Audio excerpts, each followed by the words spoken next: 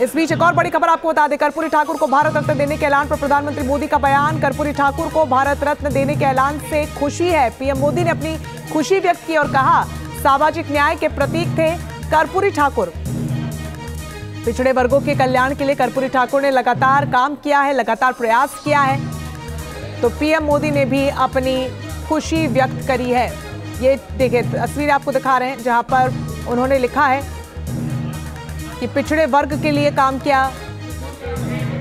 बड़े जन नेता वो रहे, दो बार मुख्यमंत्री बिहार के रहे, ऐसे में उन्हें बेहद खुशी है।